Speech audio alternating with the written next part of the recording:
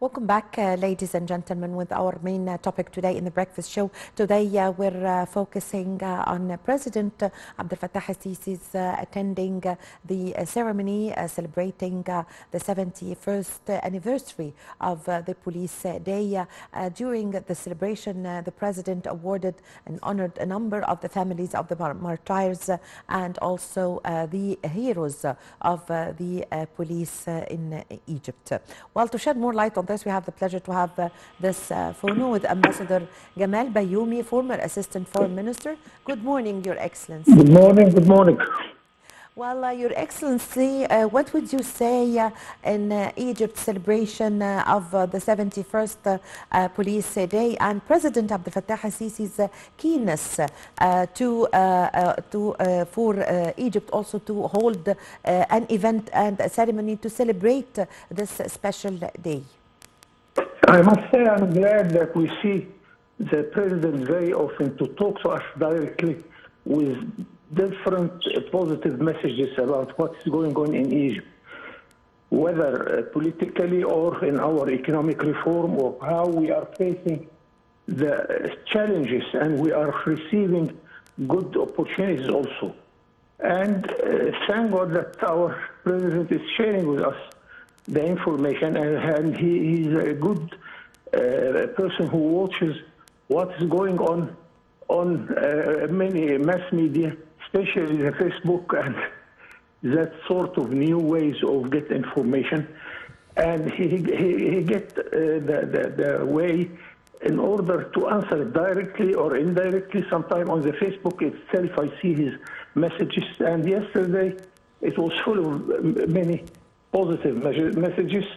And I hope we, we, we uh, will be a good listener to what the president is saying because he is driving this country. And I want to uh, help him in order to uh, drive our country to the right uh, track in order to reach good position economically, uh, politically, for the sake of my grandchildren. And uh, some something I want to say that uh, we, we shouldn't uh, act as if we are the backseat driver. We have to share in uh, the uh, activities of our country and to ask uh, uh, good questions and to receive whatever the information the president is saying. Yes, uh, so uh, Your Excellency Ambassador uh, also the President uh, during the ceremony uh, yesterday have awarded uh, and honored a number of the families of the martyrs who took part in the Ismailia battle on uh, uh, the uh, 25th of January of the year uh, uh, 1952, uh, which was uh, the day that have has been uh, chosen to be uh, the police uh, day. Uh, uh, what does this show of the president appreciation and Egypt's appreciation of its heroes? You will be amazed because I am of the generation who lived tho- those days. I, I, I was already young enough to, to know what was happening in Ismailia, what our officers did for their country, and they deserve every uh, way we, we, we tell them, we, we thank them, whether those who are victims to the, the, the battle or those who are still living and their families. Because it gives uh, the right message to all our people who are fighting everywhere in order to keep this country at the best position we can imagine. And re- really, th- th- this is one good part of the celebrations yesterday that we say thanks to those who did good jobs. And th- th- this is very important, of course. Yes, uh, so Your Excellency Ambassador Bayoumi, during the celebration, the President said that uh, uh, the cooperation between uh, police and army uh, was able uh, to uh, stop the uh, terrorism uh, in Egypt. And very soon we are all going to celebrate this, this event in El Arish. So please, could you shed light on the importance of the role that is played by police in order to uh, be able to uh, stop terrorism in Egypt? Yes, because uh, of course the, the, the army is one wing defending our borders. The police is another army defending our inside uh, security. And they are doing, I, I must confess, they are doing wonderful job. We have witnessed many uh, challenges in this country because Egypt is always in the middle of everything. And of course, we, we, we appreciate what they are doing. What happened in Ismailia, it was a sort of brave men fighting for the uh, independence of their country. And uh, it's quite well known because Ismailia was in January 1952. It was a, few months before Gamal Abdel Nasser revolution. And uh, some people would tell you that it was that one direct cause for it. So, uh, the, the, the, the, uh, as I said, the two wings of the Egyptian security are the army on the border, the police around us, and uh, really, I must say, at a, an old, as an old citizen, I have always positive uh, experience with our police. Respect yourself. Go and do your, your duty. Be open. Ask them for help. And uh, I, I, can give you plenty of occasions I have uh, tried to, to, get the help of our uh, police forces. They were at my full uh, thanks. And uh, here we, we have to cooperate with them also, because to yes. combat terrorism, to combat uh, organized crime or uh, anything which is threatening our security, it needs a sort of cooperation between the individuals like ourselves and our forces, whether it is the police or the army.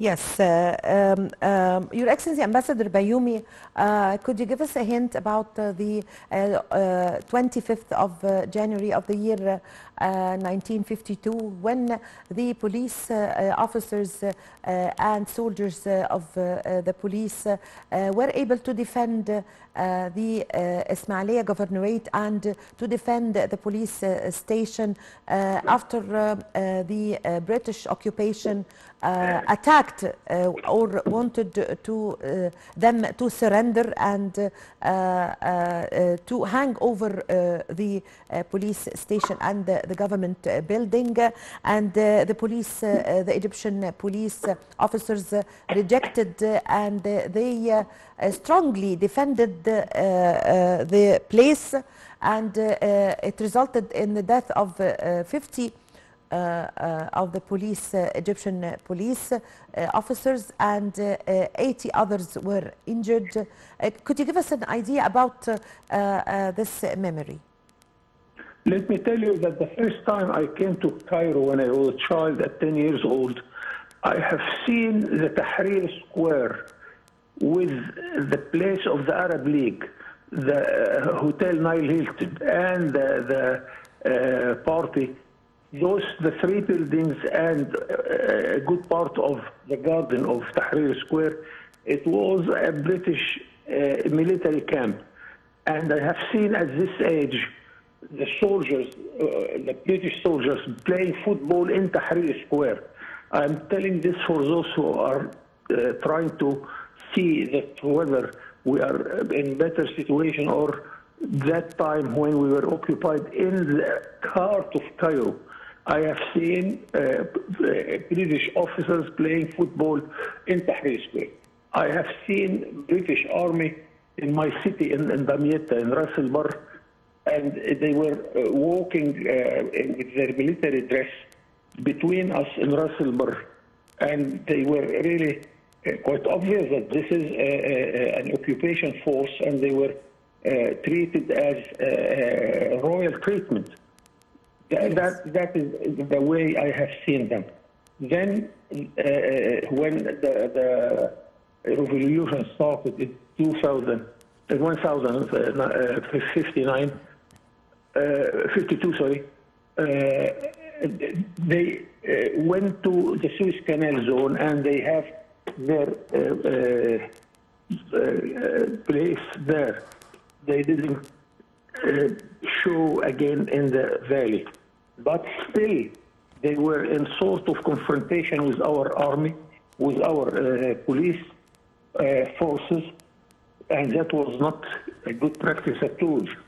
We have seen this when we were young and children, and that was not a part, a good part of our history.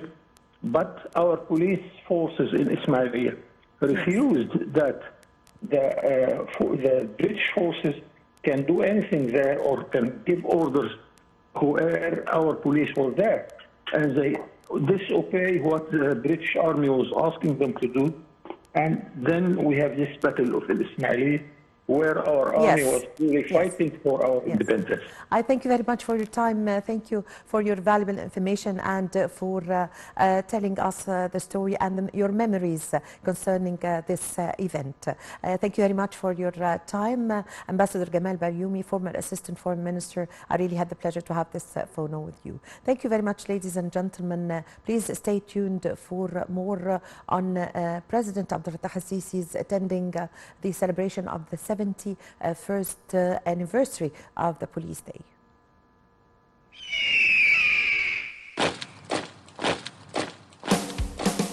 مش من النهارده بطولاتنا ليكي من زمان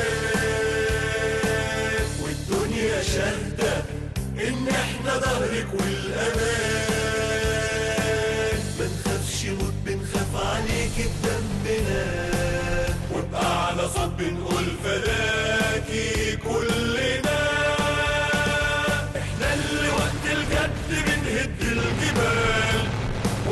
فيش علينا صعب ابدا أو محال. طول ما إحنا فيك عهد من أوفى الرجال. نموت عشانك مهما بينا العمر طال. فعنينا صهر في قلوبنا عين عزيمتنا اعلى من السحاب جاهزين نرد على أي حد ونخطي فوق كل الصعاب. تعرفنا خوف تعرفنا خوف وقلوبنا اقوى من الحديد ما يهزناش ما يهزناش ما يهمناش فينا عاش أو راح شهيد إحنا اللي وقت الجد بنهد الجبال ولا فيش علينا صعب ابدا أو محال طول ما إحنا فيك عهد من اوفى الرجال نموت عشانك مهما بينا العمر.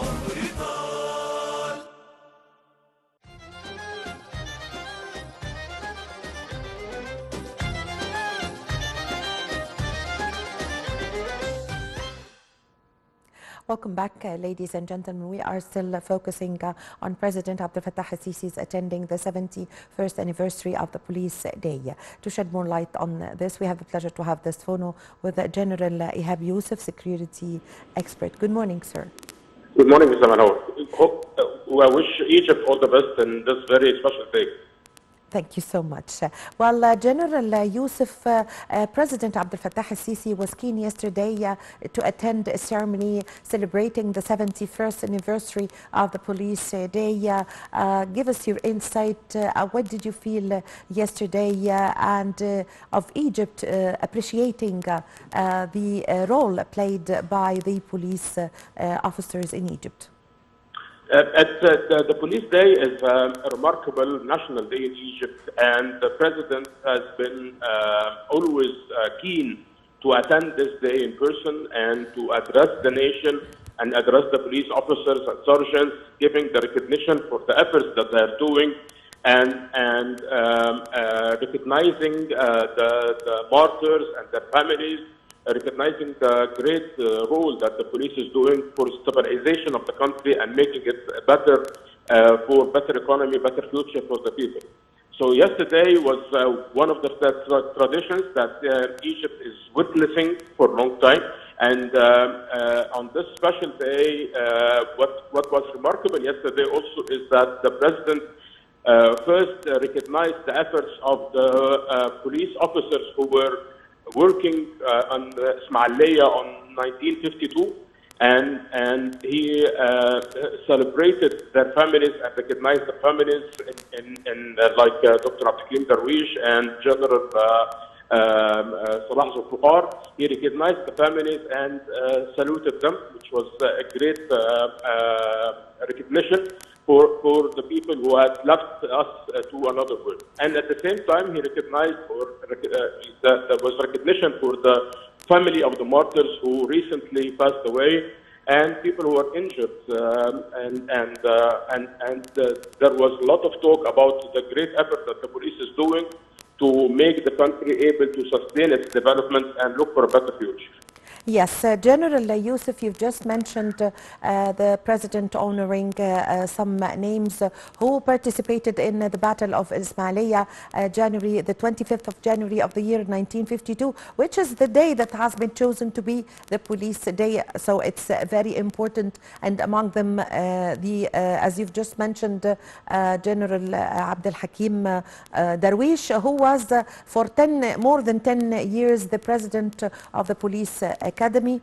Uh, and uh, we saw the president uh, uh shaking hands and treating uh, in a very kind way his uh, wife, Dr. Leila Takla. Also, the president honored the name of General Salah Zulfiqar, who actually was um, a professor uh, teaching uh, in uh, the police academy and uh, uh, he asked his uh, uh, general uh, that he wants to go and uh, to uh, uh, fight uh, uh, in the uh, Ismailia uh, to fight the uh, uh, British uh, occupation. So uh, could you give us your insight concerning uh, first, what does this show of the uh, personality of uh, the uh, police uh, officer?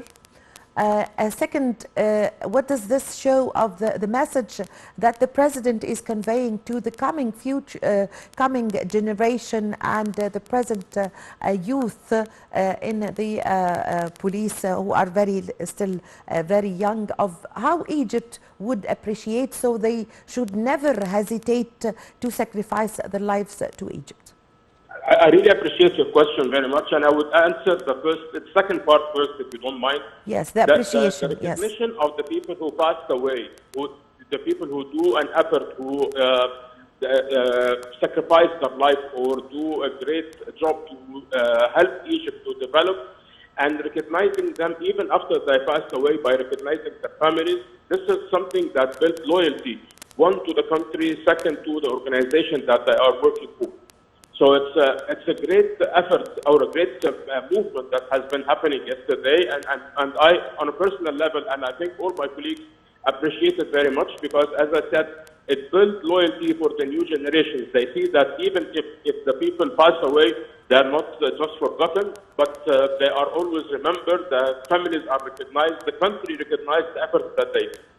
So this is from a side. Uh, well, going back to your first question about the capabilities and how the people working in the police are set up, it's, it's built on their momentum, it's built on, their character that, that sacrificing even by their life is a, is a very small uh, thing that they can do for the country. But this is this never is done for free. It's done for the first to to see that the country is developing, to see that the, their families and the future of the country is uh, is in good hands, and to make sure that their sacrifice is not going for nothing, but for building a better future for Egypt. Having said that, uh, during the, the training in the police academy and, and the training that uh, officers and sergeants receive after this, they are always built up to be able to sacrifice by anything, including their life. Yes, uh, uh, General uh, Yusuf, uh, also uh, during the celebration, uh, President Abdel Fattah al-Sisi said uh, that uh, the uh, role that is played by, or the cooperation that took place between, or the coordination that took place between the police and the Egyptian army was able to stop the, or put an end to terrorism in Egypt. What's your comment on this? As, as we all know, it's that the- these are the two wings for security in Egypt, whether we talk about the army and the police. So um, the, the cooperation between them has been always there, but the level of, of cooperation had increased heavily since uh, 2011. And, and with this cooperation, it, we were able, Egypt was able to contain the, the, the and, and counter the terrorist activities that was happening in Egypt, especially after 2013. Well, um, this is this is something that we have always to remember that the sacrifice of the people who are working in the in the military and the police are, are always recognized, and they did a great effort to do this. And we don't have to forget the people as well. The people of Egypt have also sacrificed their their their uh, their lives and, and and sacrificed their security to be able to help the police and the army to combat terrorism till we reach this stage that we are in now, we feel safe, we feel secure in our houses, in the streets. We feel much, much, much uh, secure than before. This is one. From another point, as the president mentioned yesterday, the, the, the result of these sacrifices and the efforts that has been done from the two wings of security, as you mentioned, the, people, the police and the army, we, uh, um, uh, uh, Sinai has been, as, as the president said yesterday, nearly uh, free from terrorism which means that uh, we have a great success if we are able to sustain this. On the other hand, the president mentioned that the, a big celebration will be happening in Rafah and Sheikh to celebrate the achievement, and I hope that uh, we all are going to witness this and be very happy to recognize that Egypt is now, um, as much as we can say, safe from terrorist activities. Yes, uh, General uh, Yusuf, uh, uh, also uh, if we go back to the memory of uh, the 1952 uh, on uh, before the day of the 25th of uh, January 1952, it happened that the WAFD uh, party uh, announced uh, or asked to uh, end uh, the uh, uh, accord of the, uh, the year 36. And it happened that the workers working uh, uh, in uh, the uh, British camps left the camps and went to uh, volunteer and to fight uh, against the, uh, the uh, British occupation.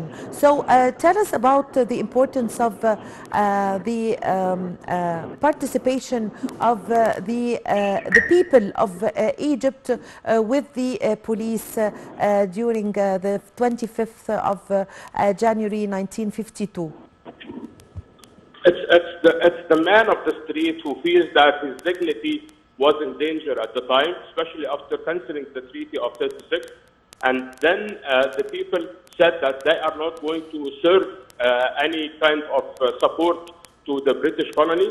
And, and they left, as you mentioned, their camps and they didn't work with them. Then the, the, uh, the, the British army started taking uh, severe action against the Egyptian people. This is where the people of the street started to combat their activities, and this is where the police started to join with the people and to give them weapons, to train them on how to use weapons, and, and the cycle started. Till we reached the stage when the British uh, uh, army asked the police to uh, give away the police uh, uh, headquarters and to, um, uh, but, but they refused to do so, and this is where the battle started. A lot of uh, police officers and sergeants were martyred and, and injured, and, and due to their uh, encouragement, encouragement and, and uh, uh, the strength in their fight against the British colony, when, they, when they came out of their police station, the British army gave them the military salute and they recognized that uh, these are brave men, that these are heroes, they have to be recognized. And, and since then, the 25th of January is known as the Police Day because the people sacrificed their life in, in, in protection of their dignity and the protection of the uh, land, Egypt land. Yes, uh, I thank you very much uh, for your time. Thank you uh, for your valuable information. General Ihab uh, Yusuf, security expert, thank you very, very much for joining us over the phone. I thank you, ladies and gentlemen, for following me in this segment. My name is Amal Mukhtar. I leave you with my colleague, Mahisti Rabia.